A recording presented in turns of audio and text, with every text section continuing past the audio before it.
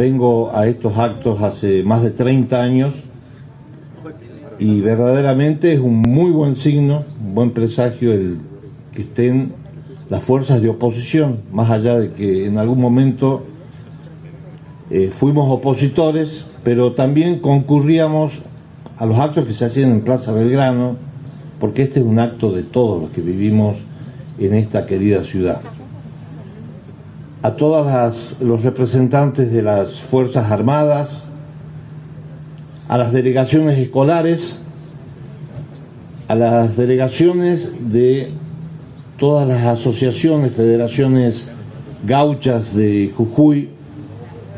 en este año tan especial donde vamos a rendir homenaje en el bicentenario de la muerte de nuestro héroe máximo en la lucha por la independencia, Eduardo Manuel Arias, general por una ley propulsada por nuestro actual gobernador, señor senador, diputados provinciales, concejales, presidente del Consejo Deliberante, de los diversos bloques, funcionarios en general, público,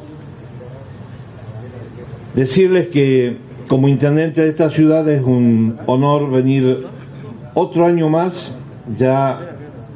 en los 429 años que cumple hoy la ciudad, acercándonos casi a los 430 años, en rendir honor y hacer de esto un acto de reflexión profunda de lo que significa la ciudad. La colonización se fundó, se basó en una estrategia de fundación de ciudades que tenían un objetivo y un interés muy claro. En el caso de Salta, fundada 11 años antes, y viendo un poco lo que era el incipiente comercio más seguro para la corona, que era el puerto de Buenos Aires por sobre el eje que significaba sacar fundamentalmente nuestros minerales de toda la región, el oro y la plata, por, por Panamá, por el Caribe, donde polulaban todos los piratas que atentaban contra, esa, ese flujo de, mercaderías que iban, que después pasaron también a ser eh, parte del el intercambio de agricultura. Y Jujuy significaba una, un desafío de ser la estrategia de una ciudad ubicada en un eje comercial y de gran tráfico de eh, ganado mular, que era el que transportaba, llevaba y traía hacia, hacia Lima, fundamentalmente hacia el Alto Perú, las mercancías y de esto se hacía buenos negocios en la capital federal, en, Buenos Aires, en el puerto, y aquí prácticamente derramaba algo para los que habitaban este suelo que era estratégico, que costó mucho a los conquistadores fundar Jujuy. Tres veces, dos intentos, algunos que duraron a veces un día, como fue el caso de la fundación de Ciudad de Nieva, y que persistió en desarrollar después posteriormente una ciudad que tenía ese objetivo inicial. Y era acá en, esta zona, en la tablada, donde se producía el intercambio también con, las llamas y las mulas para este comercio en la vía a Buenos Aires. En esos momentos prácticamente la mitad de la población del país estaba asentada en el noroeste argentino.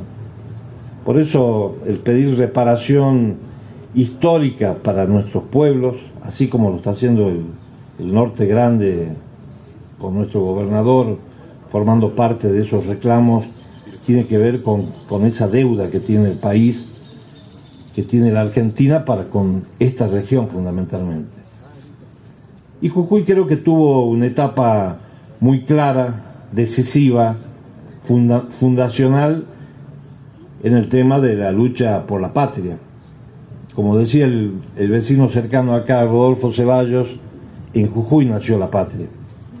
Y es aquí donde se desarrollaron las luchas por la independencia, la gesta colectiva masiva más importante del país no reconocida aún, que fue el éxodo jujeño. Y esto significa un gran orgullo para los que habitamos este suelo, porque sin esta, este colectivo de jujeños hubiera sido imposible lograr las hazañas del general Belgrano y todo lo que nos dejó, nos dejó la historia. Pero en la ciudad tal vez un hecho trascendente, que creo que marca una tercera etapa en su desarrollo, de ser una ciudad pequeña con pocos habitantes, fue en 1903 cuando llega el ferrocarril. El ferrocarril generó enormes cambios estructurales en el desarrollo de la ciudad. Era de alguna manera una forma directa para el comercio, pero también para el intercambio de personas en todo el país y esto generó avances en el desarrollo urbano increíbles, en la formación también de negocios, transporte de cargas y de personas. Y esto creo que marcó con mucha fuerza el avance, el progreso, el desarrollo de la ciudad hasta nuestros días. Y donde creo que en estos últimos 15 años hemos fortalecido esa idea de trabajar juntos con el gobierno provincial y con el gobierno de la nación cuando somos escuchados y, y, nos tienen en cuenta el fortalecer una ciudad que tiene fuertes ideas, tiene energía para seguir desarrollándose en múltiples campos con, el, con potenciales que aún están aletargados, dormidos esperando que legisladores, gobernantes y el pueblo pueda tener las herramientas básicas para seguir desarrollando este bendito suelo.